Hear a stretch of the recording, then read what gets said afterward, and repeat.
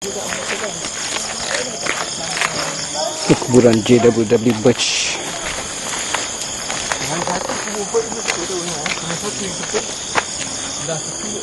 Eh, boleh ni lah, ada ni.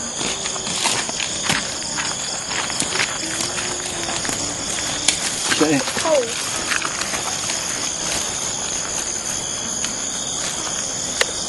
Okay. Kini uh, dah hampir masuk waktu maghrib. Baru kami sampai ke sini. Uh, Untuk pengetahuan di kawasan inilah di, ditanam ya. Uh, Residen residen pertama British ke Perak JWW Birch Yang dibunuh oleh orang-orang Melayu Terutama Datuk Mahathir Lela, Datuk Sagar dan orang-orangnya. Kerana kemarahan orang Melayu terhadap uh, sikap penjajah British yang biadab Ah, jadi ini ah, kubur kubur orang-orang yang ah, British yang terbunuh juga. Saya tak pasti sekarang ni yang mana satu kubur bird kerana dah tak nampak tanda dia. Ah, di situ pula ada tertulis Captain Royal Engineer William Innes. Ah, jadi di sini ceritanya beginilah.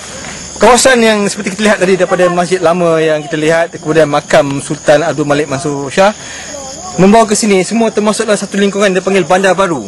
Jadi apabila uh, British dapat masuk campur dan berkuasa ke atas Perak melalui pecahan Bangkok 1874, mereka menjadikan kawasan ini sebagai pusat mereka untuk memerintah dan mencampuri urusan uh, per, di Perak. Uh, oleh kerana kami tidak cukup masa untuk bercerita secara panjang lagi, mungkin terpaksa disambung besok, maka rasanya cukuplah melihat sini. Mungkin insya-Allah saya akan cuba ulas lebih elok bila ada masa besok.